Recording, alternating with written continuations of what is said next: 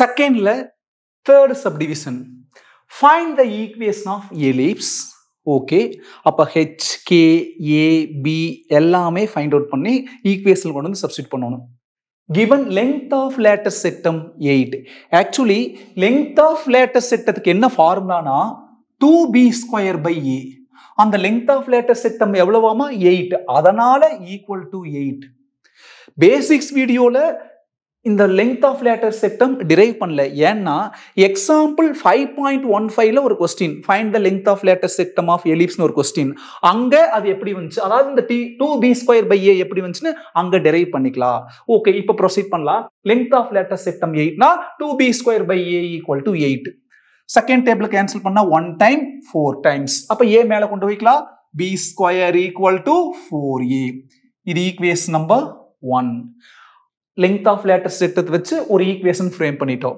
அடுத்த information eccentricity three by five எசென்ட்ரிசிட்டினா E ஈனா இம்மீடியட்டா ஞாபகம் வர வேண்டிய ஃபார்முலா சி ஏன்னா சிக்குள்ள தான் இ e இருக்கு. C equal to A E what is that E three by five அதை கொண்டு வந்து நீங்க சப்ஸ்டியூட் பண்ணிக்கலாம். Equal to A into இங்கிறது three by five so C is equal to A into three three A by five equation number two E பத்தி எப்பாவது பேசினாங்கன்னா அப்ப அந்த நம்ம சி பத்தி பேசி ஆகணும். ஏன்னா சிக்குள்ளதான் அந்த இ இருக்கு. ஏஇல இ e இருக்கு. அடுத்தது சென்டர் ஹெச் கமா கே அழகா ஜீரோ கமா ஜீரோன்னு கொடுத்துட்டான்.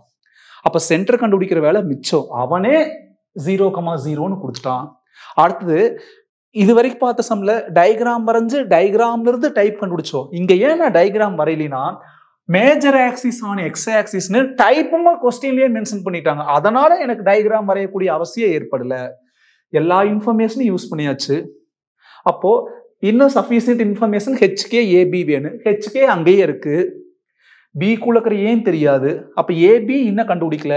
அப்போ எல்லா இன்ஃபர்மேஷனும் யூஸ் பண்ணதுக்கப்புறம் ஏதாவது தெரியலனா இமீடியட்டாக ஞாபகம் வர வேண்டிய formula C square equal to A square minus B square எலிப்ஸில் அதே ஹைப்பர் போலாவும் இருந்தால் இங்கே ப்ளஸ் வந்திருக்கு. இந்த ellipse C square equal to A square minus B square மேலே பாருங்க ஈக்குவேஷன் டூ சிங்கிறது என்னது? த்ரீ ஏ பை ஃபைவ் அந்த த்ரீ ஏ பை ஃபைவை ஸ்கொயர் பண்ணணும். அப்போ இதை ஸ்கொயர் பண்ணால் nine A square by twenty five is equal to A square minus B square equation one பாருங்க பி ஸ்கொயர்னு என்னது? ஃபோர் ஏ அப்போ அந்த ஈக்குவேஷன் டூல இருக்கிற சிக்கு பதிலாக இங்கேயும் ஈக்குவேஷன் ஒன்ல இருக்கிற பி ஸ்கொயருக்கு பதிலாக இங்கேயும் ரீப்ளேஸ் பண்ணிக்கிறோம். அப்போ இந்த லைன் வந்ததுக்கு எப்படி என்ன reason from equation two and one twenty five மேலே கொண்டு போயிடலாம் nine a square equal to twenty five மேலே போகிறப்ப ரெண்டு கோடியே மல்டிப்ளை ஆகுது. Twenty five into a square twenty five a square minus four a into twenty five minus hundred a அப்போ இது அந்த சைடு போயிடலாம் அப்போ இங்கே என்ன இருக்கு? ஜீரோவா zero equal to plus nine a square அங்கே போனால் minus nine a square twenty five a square minus nine a square sixteen a square minus hundred a அப்படியே. இங்கே எதை காமன் எடுக்கலாம்? ஃபோர் ஏவை காமன் எடுக்கலாம். ஓகே அடுத்தது. மீதி ஃபோர் ஏ காமன் எடுத்தா மீதி ஃபோர் ஏ மைனஸ் ஏதை காமன் எடுத்தாச்சு.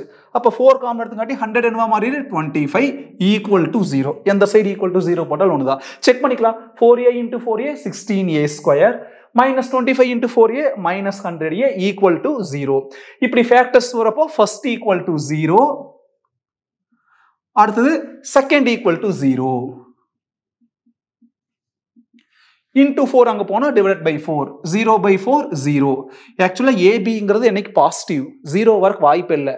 நெகட்டிவ் ஒர்க் வாய்ப்பு இல்லை. அப்போ ஜீரோங்கிறது இன்வேலிட் ஆர் இம்பாசிபிள் என்ன வேணால் எழுதிக்கங்க. மைனஸ் டுவெண்ட்டி ஃபைவ் அங்கே போனால் plus twenty five into four அங்கே போகிறப்போ divided by four a equal to twenty five divided by four இப்போ ஏ கிடைச்சிருச்சு. அடுத்தது என்ன வேணும்? பி அந்த ஏவை கொண்டு வந்து இந்த ஈக்குவேஷன் ஒன்ல சப்ஸ்டியூட் பண்ண B கிடைச்சிரு.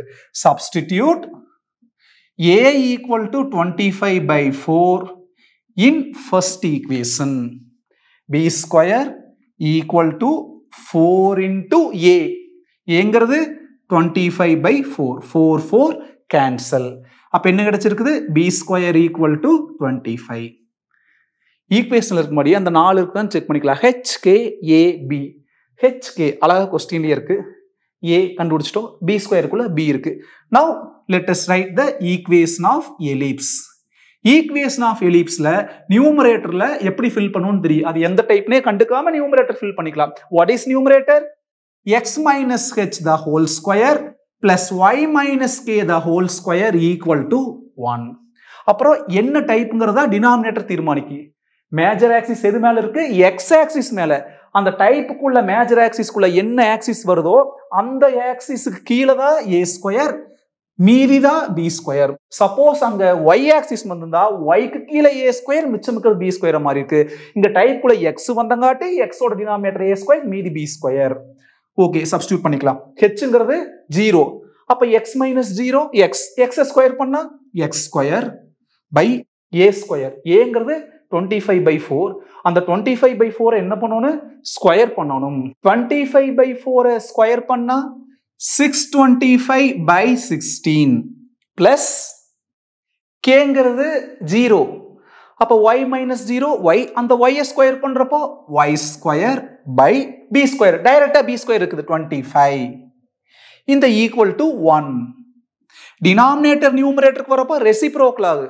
Six twenty five by sixteen மேலே வந்தால் sixteen by six twenty five மீதி மேலே இருக்கிற எக்ஸ் ஸ்கொயர் அப்படியே. Plus y square by twenty five equal to one இதுதான் ஈக்குவேஷன் ஆஃப் எலிப்ஸ்